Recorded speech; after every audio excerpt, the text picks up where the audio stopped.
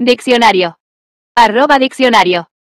Parduzco es un adjetivo que describe un color que se encuentra entre el gris y el marrón, con un tono apagado y terroso.